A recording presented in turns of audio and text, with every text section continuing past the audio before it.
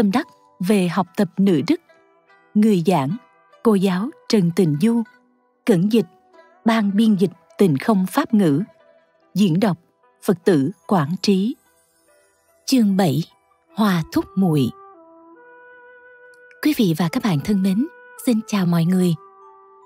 Chúng ta cùng nhau học tập tiếp chương thứ bảy của sách nữ giới là Hòa thúc muội. Chúng ta tiếp tục học câu kế tiếp. Cố thất nhân hòa tắc bán yểm, nội ngoại ly tắc quá dương, thử tất nhiên chi thế giả. Dịch viết, nhị nhân đồng tâm, kỳ lợi đoàn kim, đồng tâm chi ngôn, kỳ khứu như lan, thử chi vị giả. Tạm dịch, thế nên nếu như có thể chung sống hòa thuận với cả nhà, cho dù mình phạm lỗi, vẫn có thể được che giấu. Tiếng xấu không đến nỗi lan truyền ra ngoài khiến người cười chê. Nếu không thể chung sống hòa thuận với người trong nhà, một khi mắc phải lỗi lầm, tiếng xấu sẽ nhanh chóng lan truyền đi xa. Trong kinh dịch có câu, hai người đồng tâm thì sức mạnh có thể cắt được vàng, lời nói đồng lòng thì sẽ như hoa lan tỏa hương thơm vậy. Đoạn này nói về sự hòa thuận trong lời ăn tiếng nói. Một gia đình muốn chung sống hòa thuận thì trước tiên phải biết che giấu điều xấu của người trong nhà. Việc xấu trong gia đình không rêu rao bên ngoài. Chữ bán nghĩa là hủy bán. yểm nghĩa là che đậy. Những thói xấu và sự chỉ trích qua lại của người trong nhà không được nói cho người ngoài biết. Nội ngoại ly, tức người trong và ngoài nhà ly gián lẫn nhau. Còn quá dương là rêu rao điều lỗi của người trong nhà đi khắp nơi. Thử tất nhiên chi thế giả nghĩa là nhất định sẽ xuất hiện kết quả bất hòa. Thế nên, kinh dịch có nói, nếu như hai người đồng tâm thì sức mạnh đó có thể cắt đứt được vàng. Lời nói đồng lòng sẽ như hoa lan tỏa hương thơm. Cả đoạn này nói lên điều gì? Phần mở đầu chương tôi đã nói rồi. Gia đình hòa thuận phải bắt đầu từ sự hòa thuận trong lời ăn tiếng nói. Đặc biệt là người làm vợ phải biết làm thế nào để che giấu điều xấu, không rêu rao lỗi lầm. Tôi xin kể về ví dụ của một người bạn. Cô ấy rất quan tâm và yêu thương em trai, thường xuyên giúp đỡ em. Điều kiện kinh tế của cô rất tốt. Còn điều kiện kinh tế của người em trai không tốt. Cô đã mua nhà cho em trai, làm hộ khẩu, tất cả công việc nhà đều giúp em trai xử lý. Kết quả, cô phát hiện ra em trai và em dâu của cô ngược lại, không hề cảm ơn cô, mà còn cảm thấy cô làm chưa đủ. Người chị gái này rất đau khổ, rất khổ não. Có một lần, cô đã đem việc bên nhà mẹ ruột mình kể cho mẹ chồng nghe. Mẹ chồng cô nói, người em trai của cô rất quá đáng. Cô càng cảm thấy có lý, tâm càng tức giận hơn. Sau này, khi cô chia sẻ với tôi câu chuyện này, tôi đã nói bạn vĩnh viễn không nên đem chuyện không hay của gia đình mình hoặc gia đình chồng kể cho bên ngoài nghe. Đây là điều đại kỵ. Bởi vì người khác, nếu như có thể đứng trên góc độ đạo nghĩa mà phê bình, nhận xét đi chăng nữa, thì vị trí của bạn trong mắt của mẹ chồng đã bị hạ xuống thấp rồi. Mẹ chồng sẽ nghĩ bạn thế nào? Đứa con dâu này thật là không hiểu chuyện. Nếu như mẹ chồng còn thuận theo sự tức giận của bạn mà nói thì bạn không những sẽ không hiểu rõ vấn đề, không nhìn ra được cái lý, mà ngược lại càng bị lún sâu. Giống như bà ở bên trên lăn xuống thêm cho bạn một tảng đá vậy. Cách tốt nhất là bạn đừng nói cho ai nghe cả. Bởi vì quan sát kỹ những người xung quanh, hình như không có người nào có thể giúp bạn nâng cao chính mình. Đại đa số họ là lăn thêm đá từ trên cao xuống. Bạn vốn đã rơi xuống một thước rồi bạn kể thêm với một người nữa thì sẽ xuống thêm 10 thước nữa. Nói với hai người thì rơi xuống càng thê thảm hơn, càng nhanh hơn. Càng nói càng cảm thấy mình rất có lý. Họ không có lý chút nào. Sự tức giận đó căn bản không mất đi được. Tôi nói với cô ấy rằng chị nên cảm ơn em trai của chị đã cho chị cơ hội tăng thêm phước báo. Bởi vì điều kiện của cậu ấy không tốt. Chị là chị gái của cậu ấy đến giúp cho cậu ấy chính là tăng thêm phước báo của chính mình, không phải tăng phước báo của cậu ấy đâu. Cậu ấy chỉ nhận được sự chu cấp về mặt vật chất. Phước báo thực sự chính là đức hạnh của chị đã được nâng cao. Việc chị quan tâm em trai đã khiến cho chị tăng phước báo. Thứ hai, mẹ của chị đã qua đời. Nếu như bà ấy trên trời có linh thiêng, sẽ hết lời tán thán sự hiếu hạnh này của chị. Sự tận hiếu của chị đã khiến cho tâm nguyện của mẹ chị được viên mãn. Nếu tôi là mẹ của chị, tôi sẽ không đành lòng nhìn con trai của mình sa sút. Còn chị là chị gái, khá giả hơn cậu ấy, lại không đói hoài đến. Nếu chị có thể giúp đỡ cậu ấy, nâng cao cậu ấy, thì mẹ của chị sẽ rất vui. Cậu ấy đã giúp chị viên mãn hiếu hạnh. Cậu ấy chính là ân nhân của chị. Thứ ba, thông qua việc giúp đỡ em trai chị đã có thể nhìn thấu một số sự việc không đúng của mình. Nhiều lúc đã cho quá nhiều mà không hiểu rõ đạo lý. Lỗi không phải do cậu ấy mà là do chị. Mỗi lần cho tiền, chị nên giảng rõ lý thì em trai có thể cảm ơn. Chị chỉ đơn thuần thỏa mãn dục vọng của chính mình mà đem tiền đưa cho cậu ấy. Dù sao mình có tiền thì nên cho em nó. Sau cùng, cậu ấy không biết cảm ơn là việc bình thường bởi vì tật xấu của cậu ấy là do chị tập cho cậu ấy thành quen. Cậu ấy có thể suy nghĩ rằng, bây giờ chị có thể cho em một trăm ngàn tệ. Sao chị chỉ đưa có mười ngàn tệ thôi? Trước đây, chị chỉ có một ngàn tệ mà còn cho em hai ngàn tệ kia mà. Đó là do chị đã khiến cậu ấy có thói quen xấu này. Bây giờ chị còn đi trách người khác. Tôi cảm thấy việc này không có đạo lý. Ngày nọ chị ấy lại đến gặp tôi và nói rằng, tôi mỗi ngày suy nghĩ, hai ngày nay tôi đã vui vẻ được rồi. Bởi vì càng ngẫm nghĩ, càng hiểu ra đạo lý. Tôi đã buông xuống được rồi. Sau đó, cậu em trai của tôi bỗng nhiên cũng giác ngộ ra, nói cảm ơn tôi. Mẹ không còn nữa. Bao nhiêu năm qua, toàn nhờ vào chị giúp đỡ cho em. Em thật may mắn có được một người chị tốt. Chị yên tâm, em sẽ không phụ lòng chị em nhất định sẽ phụng dưỡng chị. Sau đó, chị ấy đã cảm động mà khóc. Lại có một câu chuyện khác về một người bạn của tôi. Con gái của người thân chị ấy sắp lên đại học. Gia đình họ rất khó khăn vì cha mẹ của cô bé ấy đã ly dị. Người cha không chu cấp tiền bạc cho hai mẹ con, nên việc cô bé muốn học lên đại học là điều không dễ. Mẹ của cô bé đã nói với người bạn của tôi mong bạn của tôi có thể giúp cho mấy chục ngàn tệ làm học phí bạn của tôi nói, được, không thành vấn đề, để em đưa cho nhưng em muốn tự tay mình đưa cho con gái chị, đồng thời muốn nói chuyện riêng với nó bạn của tôi đã nói chuyện với cô bé đó hơn 2 tiếng đồng hồ. Con có biết thi lên đại học lần này cần bao nhiêu tiền học phí hay không? Cô bé 18 tuổi ấy trả lời một cách không hề có chút cảm xúc. Con không biết ạ. À. Bạn của tôi hỏi tiếp. Vậy con có từng nghĩ đến con số đó sẽ là bao nhiêu không? Nó nói. Con không nghĩ, con không biết ạ. À. Bạn của tôi nói.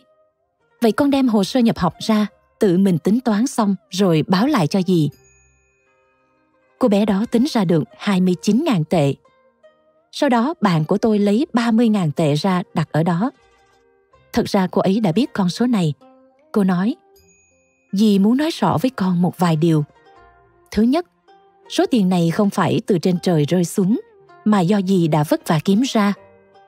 Thứ hai, con không cần cảm ơn gì, mà trước hết hãy cảm ơn cha mẹ của con không có cha mẹ thì con không thể có mặt trên thế gian này con cần thể hội được tấm lòng của mẹ đã vất vả vì con thứ ba con nhất định phải trân quý số tiền này trân quý thời gian 4 năm học đại học của mình.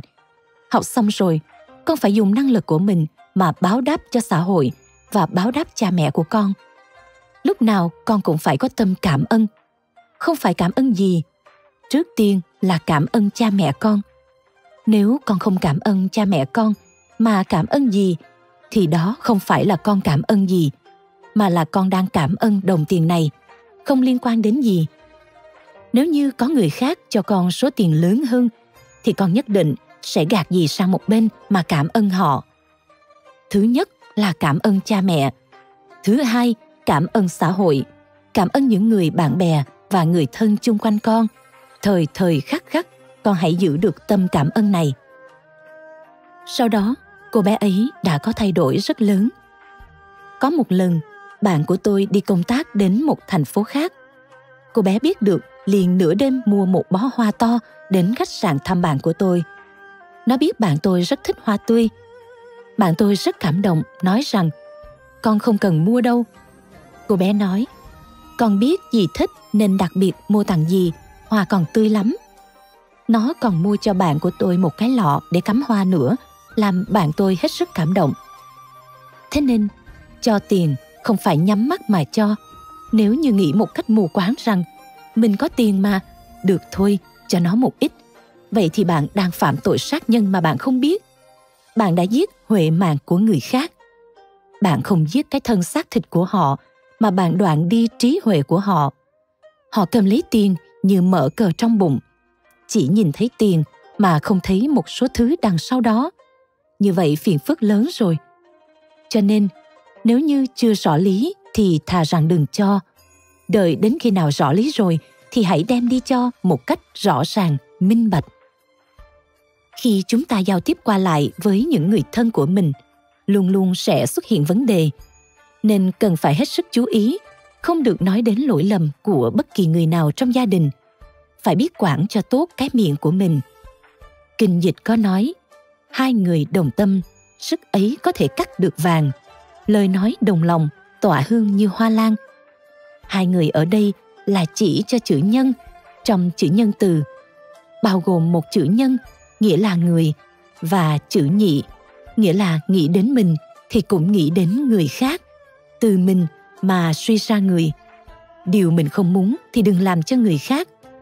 Bất luận là người nào, bạn đều nghĩ đến sự suy nghĩ của họ. Đổi vị trí mà suy nghĩ thì như vậy sẽ dễ dàng đồng tâm với họ. Sau khi có được sức mạnh hãy chân thành cùng nhau đi làm những việc lợi ích.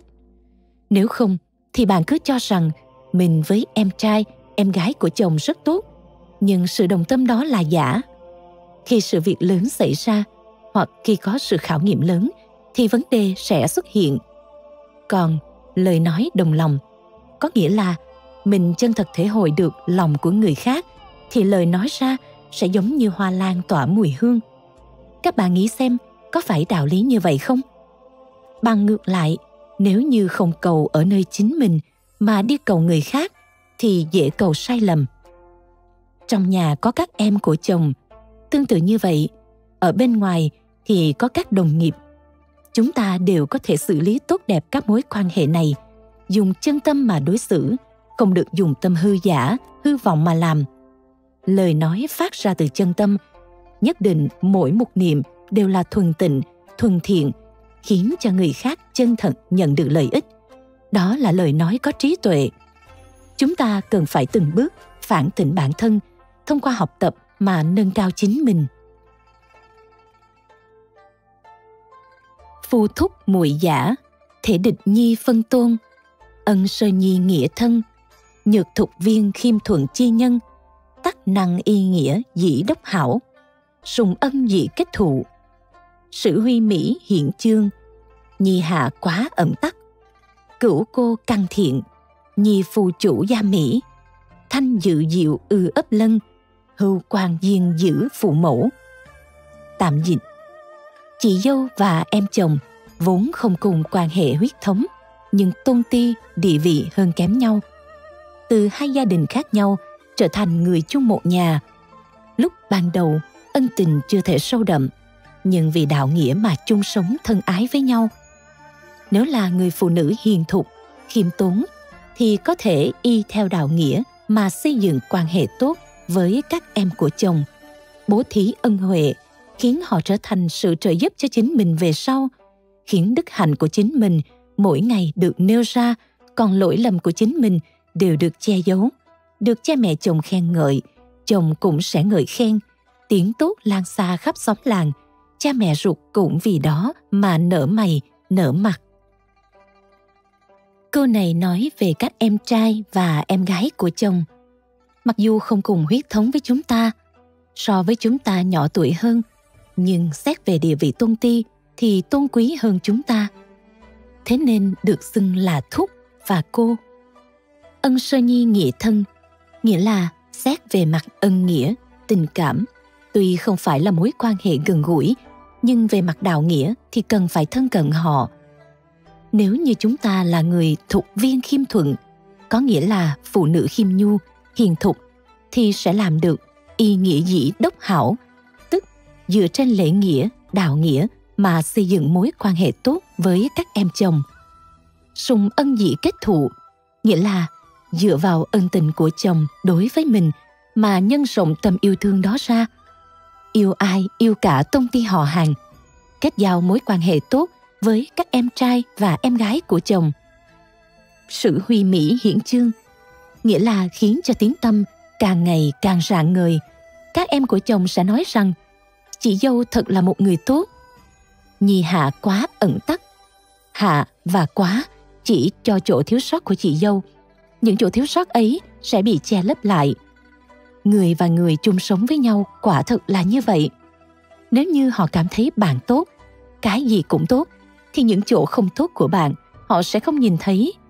Còn như họ cảm thấy bạn không tốt, thì chỗ tốt của bạn họ cũng nhìn không thấy, đều đã bị tình cảm che lấp mất rồi.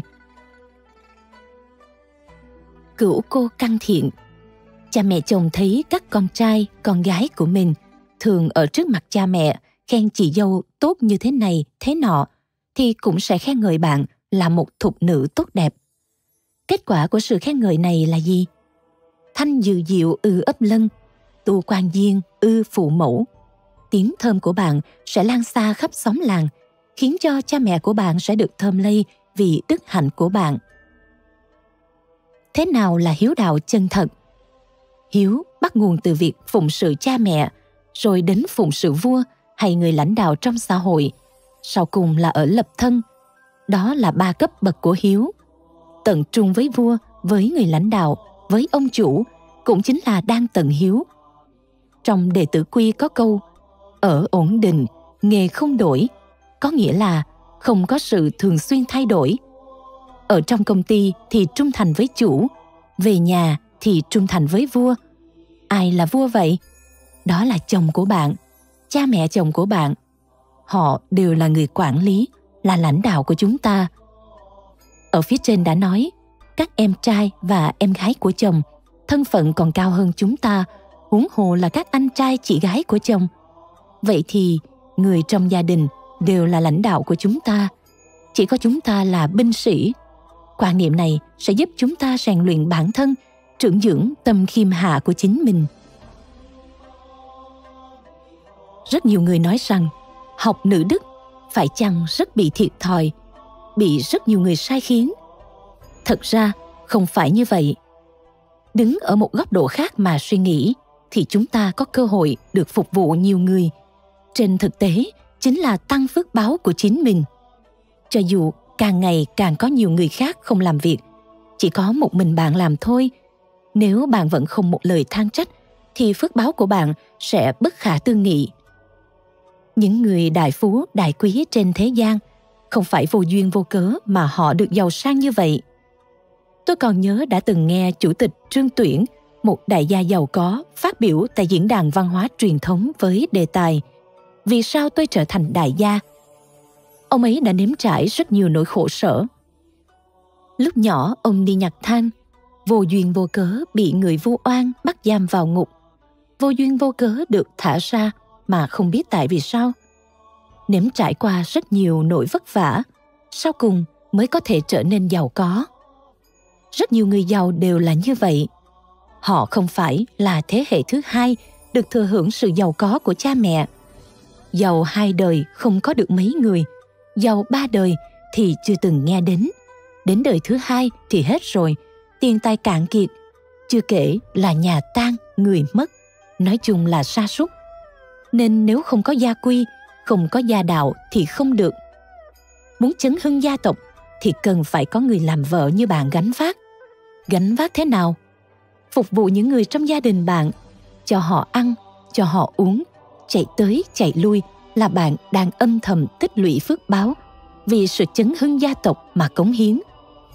Khi bạn làm đến một trình độ nhất định, khi cha mẹ chồng bạn già đi, các em trai và em gái của chồng đều thành gia lập nghiệp.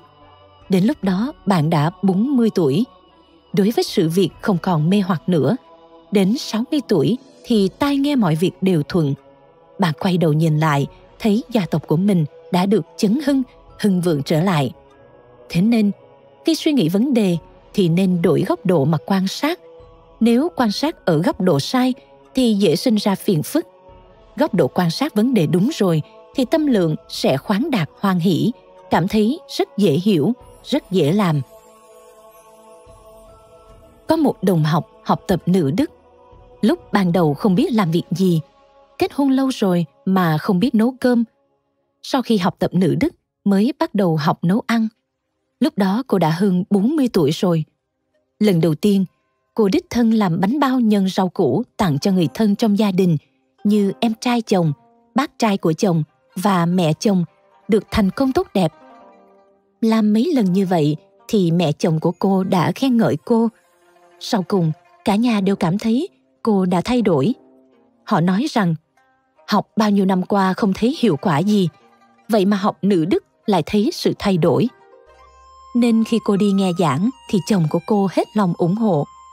Cho nên, nếu như chúng ta chuyển đổi tâm niệm của chính mình, sẽ phát hiện ra rằng người làm vợ người làm nội trợ chính trong gia đình chính là người có thể tu phước, tích phước dễ dàng nhất.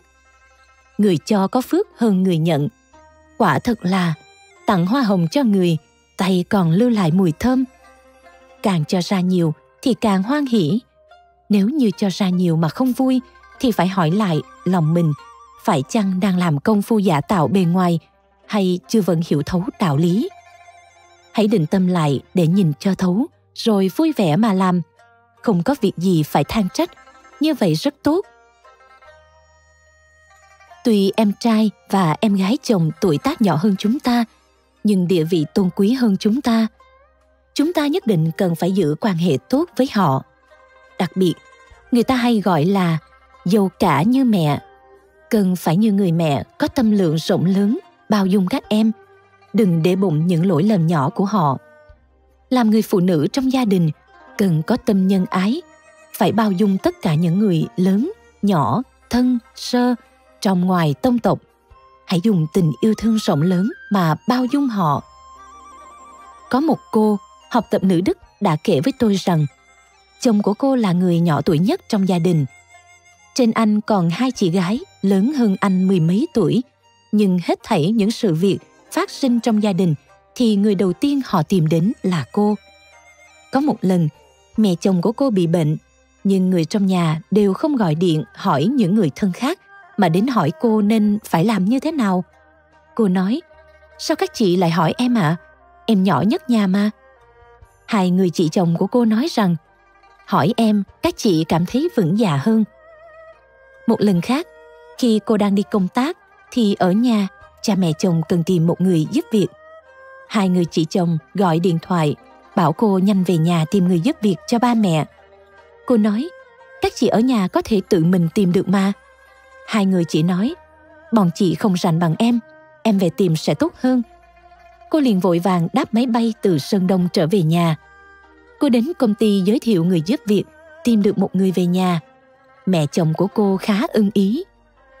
Thế nên, khi chúng ta làm những việc như vậy, tâm lượng nhất định phải lớn không nên nghĩ rằng tuổi tác của chúng ta nhỏ nhất, những người khác tuổi tác lớn hơn chúng ta. Đừng nghĩ như thế, vì rất nhiều việc không liên quan đến tuổi tác. Có thể bạn là người sáng trí, nhìn sự việc thấu suốt hơn. Có thể bao dung nhiều người hơn, thì công việc bạn gánh vác sẽ nhiều hơn một chút. Người tài thì vất vả. Bạn cũng đừng thoái thác cho người khác, nên gánh vác thì hãy gánh vác. Bản thân thấy điều nhân nghĩa sẽ không chịu nhường. Còn người ta, thứ nhất, phải có lòng nhân. Thứ hai, cần có lòng khoan thứ người khác. Đó chính là đạo khoan dung, nhân hậu. Thứ ba, đừng quên điều tốt nhỏ của người khác. Cũng đừng ghi nhớ lỗi lầm nhỏ của người. Không quên điều tốt nhỏ của người thì sẽ hiểu rõ được đạo lý lớn. Không tính toán lỗi nhỏ của người thì những lời nói dèm pha sẽ dần dần tiêu tan không còn xuất hiện ở trong gia đình nữa Chúng ta xem phần kinh văn tiếp theo. Nhược phù ngu xuẩn chi nhân, giữ thúc tắc thác danh dị tự cao, giữ mùi tác nhân sủng dị kiêu doanh, kiêu doanh ký thí, hà hòa chi hữu, ân nghĩa ký quai, hà dự chi trăng. Tạm dịch Còn như những phụ nữ ngu si, cậy mình làm chị dâu, kiêu căng, tự đại với em trai chồng, ỷ vào sự sủng ái của chồng mà lên mặt với em gái chồng. Đôi bên, hệ có tâm ngạo mạn thì sao còn có thể hòa thuận được chứ? Người cùng một nhà đã không còn ân nghĩa thì sao còn có tiếng tốt để được ngợi khen? Đoạn này có nghĩa là những phụ nữ ngu si lấy danh nghĩa làm chị dâu mà thể hiện ra mình cao quý hơn em trai của chồng. Dựa vào sự sủng ái của chồng hoặc sự sủng ái của cha mẹ chồng mà kiêu ngạo tự mãn. Người xưa nói, mãn chiêu tổn, khiêm thọ ích, nghĩa là tự mãn chuốc lấy tổn thất, khiêm tốn thì được lợi ích. Vừa khởi tâm kiêu ngạo thì liền đọa lạc mà tự mình không hay biết. Có lời nói, hành vi và thái độ kiêu ngạo đối với em gái của chồng thì sao có thể hòa thuận được chứ? Làm như thế sẽ trái ngược với ân nghĩa. Sao có thể nhận được lời tán thán và vinh dự được? Chúng ta học đoạn kinh văn này rất có cảm xúc. Từ chương mở đầu là ti nhược, xuyên suốt đến chương sau cùng là hòa thúc muội đều dạy cho phụ nữ sự khiêm hạ, tâm nhu thuận. Bởi vì sau khi phụ nữ lập gia đình, ở trước mặt các em của chồng dễ tỏ thái độ kiêu ngạo, tự cho mình là đúng. Từ một mà suy ra ba, không những trước mặt các em của chồng không được thể hiện thái độ như vậy, mà đối với những trưởng bối và vãn bối khác trong gia đình cũng không được tỏ vẻ ngạo mạn. Ở nơi làm việc cũng vậy, những nhân viên làm việc lâu năm cho đến ông chủ đều thường nói những lời ngạo mạn, cảm thấy bản thân có tư cách, có kinh nghiệm. Phàm những người có thâm niên đều như vậy. Thế nên, chúng ta cần phải luôn luôn phản tỉnh lúc ở nhà hay ở chỗ làm. Sự ngạo mạn của chúng ta có xuất hiện hay không? Nếu như có, thì phải nhanh chóng suy nghĩ rằng thái độ này trái ngược với ân và nghĩa. Về mặt tình và lý, chúng ta không được làm như vậy ngạo mạn là một loại độc tố trong xã hội hiện nay rất khó cảnh giác rất nhiều người ẩn chứa sự ngạo mạn vi tế mà không nhận diện ra nhưng người khác vẫn cảm nhận được, cho dù điều đó không thể hiện rõ. Đặc biệt, người có sự ngạo mạn vi tế nhưng biểu hiện ra bên ngoài lại rất nho nhã. Điều này là đáng sợ nhất. Vì vậy, việc này chỉ có bản thân mình tự cảnh giác lấy. Phương pháp tốt nhất để đối trị tâm ngạo mạn là gì? Đó là tâm chân thành và chí thành. Làm bất kỳ việc gì cũng đều dùng tâm chân thành của mình mà làm thì tập khí kiêu ngạo sẽ dần dần được tiêu trừ. Đồng thời, đối với bất kỳ việc gì cũng đều phải nhớ rằng, không dám đứng trước người khác, không dám đứng trước thiên hạ. Việc gì cũng đặt mình ở vị trí phía sau. Trước đây, khi chúng ta có suy nghĩ nào đó đối với một sự việc, thì đều cho rằng mình phải nói ra để lợi ích đại chúng, lợi ích mọi người. Bây giờ, chúng ta cần phải suy nghĩ rằng chúng ta có tư cách nói ra hay không? Hoặc nói ra rồi, mọi người có hiểu hay không? Liệu điều này có thể hiện là chúng ta hơi ngạo mạn chăng? Mình đã suy nghĩ chu toàn thấu đáo chưa? Hay im lặng là tốt hơn? Hãy quay về suy nghĩ cho cẩn thận đã. Tập khí kiêu ngạo rất khó trừ, nên trong quá trình học tập, chúng ta cần phải không ngừng phản tỉnh bản thân. Tiên sinh tăng quốc phiên đã từng dạy rằng người bị người khác ghét, không gì ngoài chữ kiêu. Nên, kiêu ngạo là thói xấu bị người khác chán ghét nhất, nhưng bản thân lại không hay biết. Thị dĩ mỹ ẩn, nhi quá tuyên. Cô phẫn nhi phu uấn, hủy tý bố giữ trung ngoại sĩ nhục tập ư quyết thân tiến tăng phụ mẫu chi tu. Thoái ích quân tử chi lụy, tư nải vinh nhục chi thể nhi hiển phụ chi cơ giả, khả bất thận dư. Tạm dịch, như thế nết tốt của mình sẽ ngày ngày bị vùi lấp, còn lỗi lầm sẽ dần dần bị nêu ra. Cha mẹ chồng tức giận, chồng cũng phẫn nộ. Lời chê bai, hủy bán sẽ lan khắp trong ngoài, chính mình chút lấy sự hổ thẹn. Ở lại nhà của chồng thì khiến cho cha mẹ mình xấu hổ, mà trở về nhà mẹ ruột thì sẽ làm lụy cho chồng mối quan hệ với các em của chồng là cái gốc của sự vinh nhục, là căn bản của danh thơm, tiếng xấu. Há không thể không cẩn thận được ư? Câu này có nghĩa là vì thói ngạo mạn của chính mình mà lời khen ngợi sẽ bị ẩn mất, bị vùi lấp không còn nữa. Còn lỗi lầm thì bị người rêu rao khắp nơi. Mẹ chồng sẽ phẫn nộ, còn chồng thì phiền muộn những lời công kích chê bai sẽ lan truyền từ trong ra ngoài. Bản thân sẽ chút lấy sự hổ thẹn, nhục nhã. Cha mẹ ruột sẽ bị xấu hổ mà đức hạnh của chính mình cũng bị liên lụy. Đây quả thật là căn bản của sự vinh nhục. Được người tán thán hay bị người phê bình, chỉ trích căn nguyên nằm tại nơi đây, cho nên phải xử sự hết sức cẩn thận. Từ đoạn kinh văn này, chúng ta xét xem ban chiêu muốn truyền đạt cho chúng ta khái niệm gì? Đó chính là phụ nữ khi đã kết hôn thì làm thế nào để có được tiếng tốt? Nguyên nhân căn bản để có được tiếng thơm chính là làm được chương ti nhược. Ti nhược được thể hiện ra ở sự cung kính, nhu thuận, bốn đức hạnh của phụ nữ. Quan trọng nhất là phải nhất tâm giữ gìn được tiết tháo của chính mình. Thật đáng tiếc là hiện nay chúng ta thiếu mất quan niệm về vinh nhục. Rất nhiều bậc cha mẹ không cho rằng con cái của họ không giữ trinh tiết tiết hạnh là điều hổ thẹn, là sự kém khuyết của đức hạnh, mà lại cảm thấy con gái của họ không chọn thanh niên nghèo, mà chọn đại gia là điều rất tốt.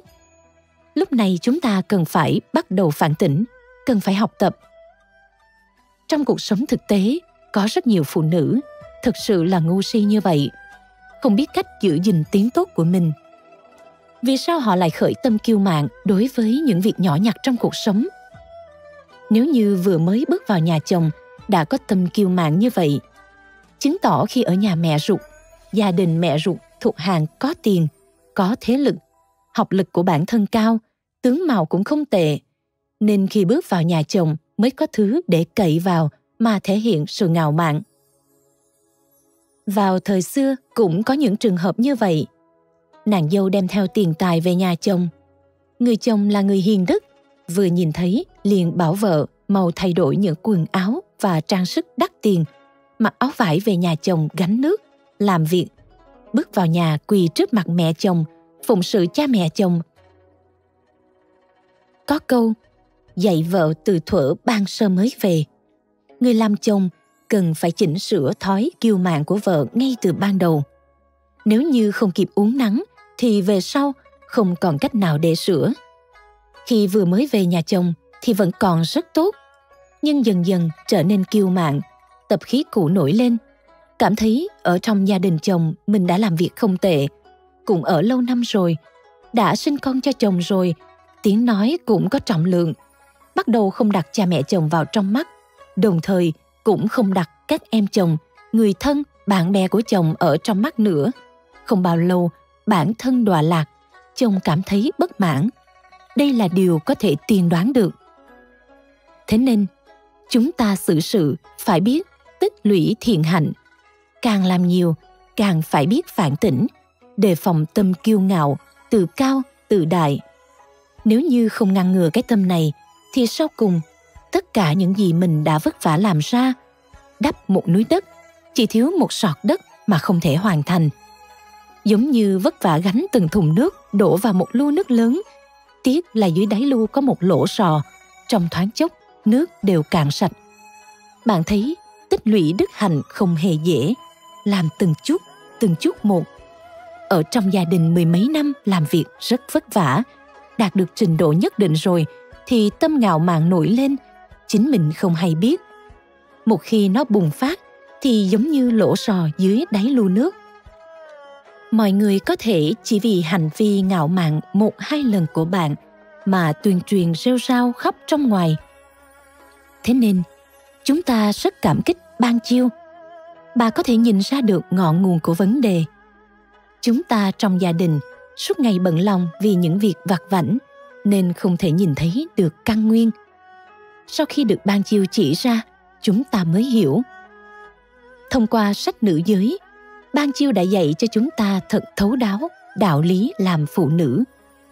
Khi chúng ta học đi, học lại sách nữ giới, hiểu thấu được vấn đề, thì xem các sách khác dạy về nữ đức khác như nữ nhi kinh, ôn thị mẫu huấn, lã tân ngô khuê phạm, lã tân ngô nữ tiểu nhi ngữ, nữ phạm tiệp lục đều có thể hiểu được rốt ráo.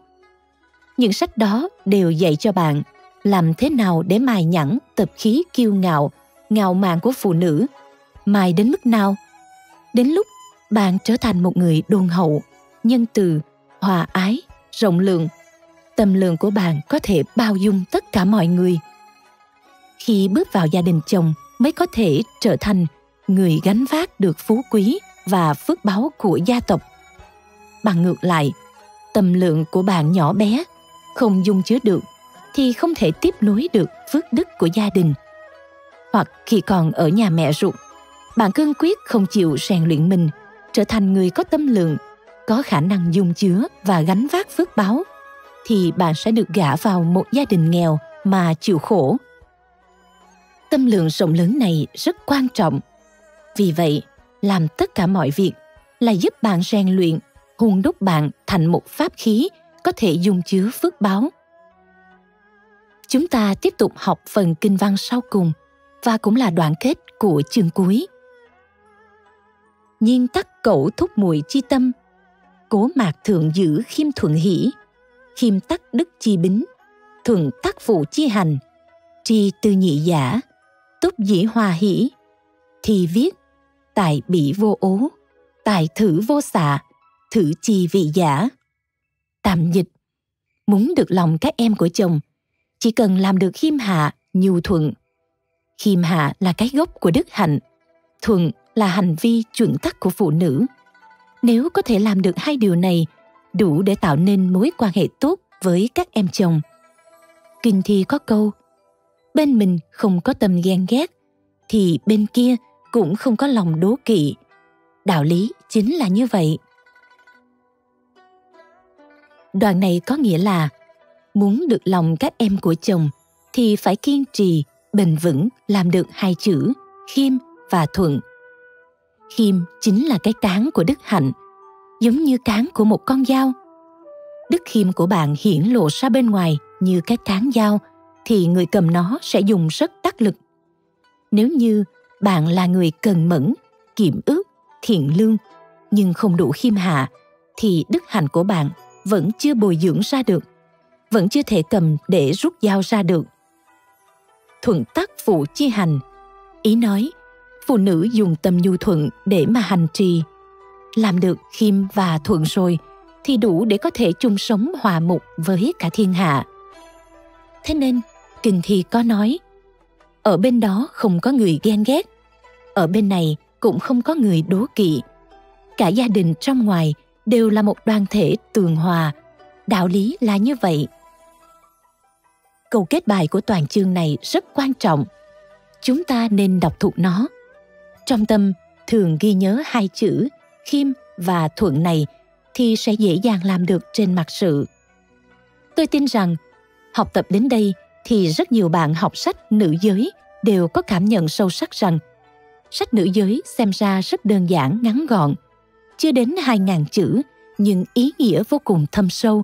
Nhưng khi thực hiện thì không hề dễ dàng. Mỗi lần tôi giảng nữ giới đều có cảm xúc rất sâu sắc. Mỗi lần giảng đều không như nhau. Đương nhiên, lần giảng sau đều có sự nâng cao hơn lần trước. Sự nâng cao này chính là yêu cầu đối với sự tu học của bản thân. Tôi tin tưởng rằng mọi người thông qua việc học tập nữ giới sẽ hiểu rõ làm thế nào để trở thành người phụ nữ hạnh phúc trong cuộc sống? Hạnh phúc này tuyệt đối không phải do người khác mang đến, không phải do chồng bạn mang đến, cũng không phải do cha mẹ chồng hay bất kỳ người nào mang đến, mà do chính bạn mang đến cho bạn. Thế nào là hạnh phúc thật sự? Hạnh phúc thật sự từ tâm của chính mình mà cầu. Cổ đại đức có nói, hết thảy phước điền đều không rời phương thốn phương thốn chính là chỉ cho tâm của chính mình. Mảnh ruộng phước này nên gieo trồng như thế nào đây? Khiêm và thuận chính là hạt giống tốt nhất để gieo trồng ruộng phước. Hãy trồng hai hạt giống này trên mảnh đất tâm của chính mình. Mỗi ngày dùng tất cả ngôn ngữ và hành vi của chính mình mà tưới tẩm cho nó, trưởng dưỡng nó, khiến nó càng lớn, rễ càng cắm sâu, càng lớn, càng dày khi rễ sâu thì lá tốt.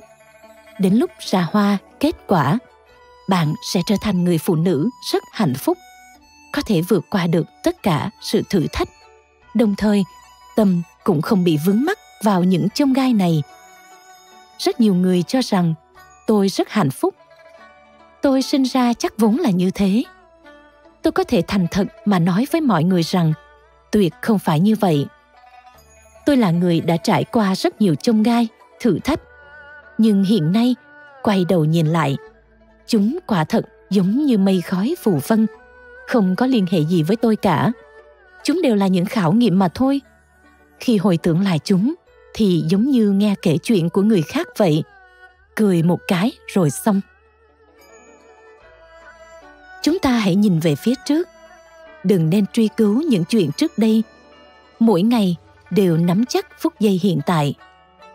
Trong lúc nắm chắc phút giây hiện tại này, mong mọi người hãy nhớ rằng, đối với bất kỳ việc gì đều không được tham luyến, không được chấp trước, không được oán trách. Phụ nữ khi có món đồ tốt, thường dễ tham luyến, chấp trước, không buông xuống được.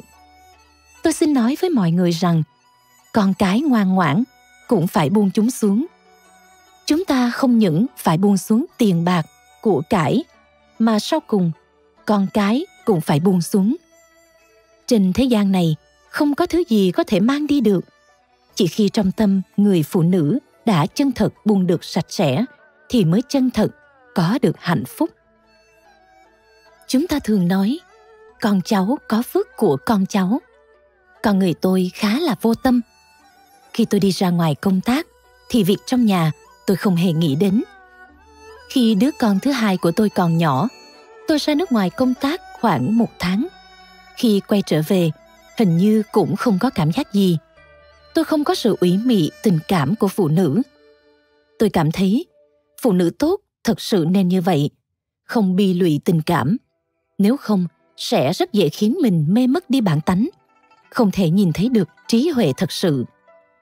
Cũng không nên suy nghĩ rằng làm phụ nữ là thiệt thòi nên hưởng phước như nam giới, hoặc là nên sau đó. Chúng ta không nên tưởng tượng ra nhiều điều như thế. Khi phụ nữ chúng ta phải đối diện với bất kỳ hoàn cảnh cuộc sống nào, tôi xin nói với mọi người rằng, tất cả điều kiện hoàn cảnh đó là tốt cả. Những gì đến với bạn thì nhất định là phù hợp với bạn nhất. Khi có việc gì xuất hiện với bạn, thì đó chính là môn học mà bạn cần phải thi đậu. Bạn đừng nói dựa vào đâu mà bảo tôi đi làm? Vì sao tôi phải làm? Đừng có hỏi vì sao nhiều như vậy. Tôi thường nói với các nhân viên nữ rằng, nếu như trong cuộc sống, các bạn thường hỏi rằng vì sao có nhiều việc như vậy. Chỉ bằng các bạn hãy hỏi, vì sao tôi không có năng lực, không có đức hạnh để gánh vác công việc này? Nếu như có thể gánh vác, thì công việc này không nhằm nhò gì cả. Tôi còn nhớ một lần đi công tác với một vị thầy đại đức hoàn cảnh lúc đó rất gian khổ, nên vị thầy đó cứ luôn xin lỗi tôi cứ như tôi là tiểu thư cành vàng lá ngọc, phải chịu thiệt thòi vậy thầy nói với tôi rằng, hãy lấy khổ làm thầy, vị này thế nào rồi khi thầy ấy nói với tôi bốn lần như vậy, tôi đã nói rằng, có nhiều việc thầy vẫn chưa hiểu hết con ạ à. con đối với khổ và vui không có cảm giác gì cả ạ à thầy bảo con hưởng phước. Con không có cảm giác là hưởng phước. Thầy bảo con chịu khổ. Con cũng không có cảm giác là chịu khổ. Con cảm thấy những điều này đối với con không quan trọng. Con càng ngày càng cảm nhận được rằng sự nâng cao linh tánh, sự nâng cao cảnh giới tinh thần của chính mình mới là niềm vui thật sự. Những sự khổ vui đều là giả, không phải thật. Thầy không cần quá lo cho con ạ. À. sau đó thầy nói, được được thầy mới cảm thấy yên tâm. Chúng ta muốn truy cầu hạnh phúc, nhưng hạnh phúc có nhiều cách lý giải khác nhau. Có người cho rằng bình an, sung túc là hạnh phúc. Có người cho rằng cuộc đời này của họ phải sống như thế nào đó mới là hạnh phúc. Nhưng tôi hy vọng rằng thông qua học tập giáo trình nữ giới, thông qua việc học tập nữ đức, có thể khiến chúng ta có được hạnh phúc viên mãn các bạn gái sẽ sống một cuộc đời đáng sống. Các bạn hãy chân thật vì xã hội, sinh ra một thế hệ công dân lương thiện, hiền đức, tài năng. Hãy giáo dục con cái nên người là việc làm thực tế. Con cái tốt chính là thành quả mỹ mãn của khóa học nhân sinh của bạn. Trên thế giới này, mọi người đều muốn nhìn thấy kết quả, xem chứng minh thực tế. Vậy nên, bạn phải đưa chứng cứ ra cho họ xem trong việc giáo dục con cái. Chúng ta phải thực hiện được hai đức tính, khiêm và thuận. Thuận theo tự tánh của chúng, đồng thời cũng chuyển tập tánh của chúng quay trở về thuận theo tự tánh. Trước tiên, chúng ta cần tùy thuận theo chúng. Ví dụ như, con trai lớn của tôi có sở thích chơi cờ tỷ phú. Đôi khi tôi cũng chơi cùng con. Đương nhiên là lần chơi nào tôi cũng thua nó tiền nó kiếm được, bao giờ cũng nhiều hơn tôi. Sau khi kiếm được tiền, nó nói với tôi, mẹ xem, mẹ không nên chọn như vậy. Chọn như vậy không kiếm được tiền đâu. Tôi cười mà nói với nó rằng, đây chỉ là trò chơi con đừng cho là thật. Sau đó nó hỏi, vậy cuộc sống thực sự trong tương lai như thế nào ạ? Tôi nói, tiền trong cuộc sống hiện thực không phải kiếm bằng cách này mà hoàn toàn đến từ đức hạnh của con. Từ việc con làm thế nào hiếu thuận cha mẹ, hữu ái với anh em từ cách đối xử với bạn học, cung kính với thầy cô, nếu con có đức hạnh thì không lo, không có tiền tài. Sau đó nó đã hiểu ra, nhưng cũng không để tâm lắm, vẫn nói với tôi rằng, mẹ xem, tiền của mẹ không đủ đây này, để con chi cho mẹ ít tiền nhé. Tôi nói, được được rồi tôi chơi tiếp với con một cách lơ đảng. Sau đó nó nói, mẹ ơi, mẹ mệt rồi, thôi không chơi nữa ạ. À. hiện nay, nếu như chúng ta đóng cửa để con cái ở trong nhà, tách biệt với thế giới ở bên ngoài, hoàn toàn làm theo cách làm của người xưa thì cũng không thể được. Chúng ta nên tùy thuận chúng. Trong quá trình tùy thuận mà dạy bảo chúng, rồi cảm hóa chúng. Quá trình dạy con là quá trình chuyển hóa con. Từng bước từng bước mà chuyển hóa, rồi nó sẽ hiểu ra đạo lý chính là như vậy. Bởi vì tôi không có em trai và em gái bên chồng, nên sự thể hội của tôi trong chương này không được sâu. Nhưng tôi có em trai. Đối với em trai, tôi rất cung kính, bởi vì nó là nam giới. Gia đình tôi trước giờ trọng nam khinh nữ, nên em trai của tôi giống như anh trai của tôi vậy. Đối với tôi rất tốt chúng tôi qua lại đối xử với nhau rất tốt. Chung sống với nhau không có bất kỳ sự ngăn cách nào. Đối với hai người chị chồng lớn tuổi hơn tôi tôi cũng rất mực cung kính. Trong nhà, đôi khi cũng có một vài chuyện xích mích, nhưng tôi đều không để trong lòng. Bởi vì như tôi đã nói lúc nãy, con người không phải thánh hiền, ai mà không có lỗi. Chúng ta cần phải âm thầm phản tỉnh, sau đó không ngừng sửa đổi, đem những lỗi lầm lớn vấn đề lớn chuyển thành nhỏ. Sau cùng không còn nữa, rồi sẽ có một ngày thành công. Sách nữ giới chúng ta học đến đây là viên mãn, nhưng tôi tin rằng vẫn còn rất nhiều chỗ thiếu sót. Tôi hy vọng các bạn đồng học và các thầy cô giáo sẽ cùng nhau học tập, cùng nhau nâng cao thông qua học tập nữ đức có được một cuộc đời hạnh phúc. Đức hạnh của nữ đức phải dựa vào thực hành. Đức không phải ẩn chứa bên trong mà thực hành ra ở bên ngoài. Nếu như mỗi người chúng ta có thể thực hành đức ấy trong gia đình, trong thiên hạ, thì tôi tin rằng thời thế sẽ không phải mỗi ngày mỗi đi xuống, mà mỗi ngày sẽ thêm tốt đẹp hơn. Chúng ta nhất định sẽ thấy được sự hài hòa trong thiên hạ. Như vậy, mỗi người phụ nữ chúng ta trong xã hội đều sẽ cảm thấy tự hào, vinh dự. Tôi hy vọng nữ đức sẽ được hoàng dương rộng rãi khắp nơi trên thế giới. Chị em phụ nữ đều lấy đức hạnh làm cái đẹp, dùng đức hạnh tôn vinh bản thân, làm niềm tự hào của gia đình, quan tông diệu tổ, hiển vinh cha mẹ. Tôi xin trao đổi với mọi người đến đây. Cảm ơn các thầy cô giáo và mọi người. Hy vọng mọi người góp ý phê bình để việc học tập của chúng ta sẽ trở nên tốt đẹp hơn. Xin cảm ơn mọi người.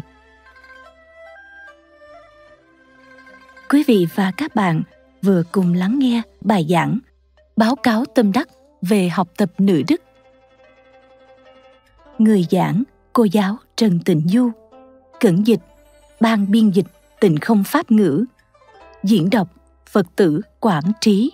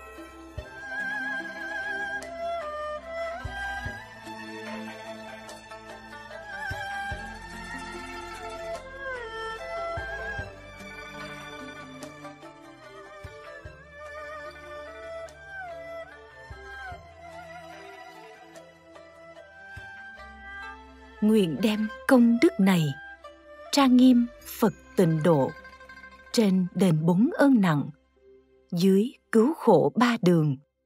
Nếu có ai thấy nghe, đều phát bồ đề tâm, hết một báo thân này, sanh qua nước cực lạc. Nam mô a di đà phật.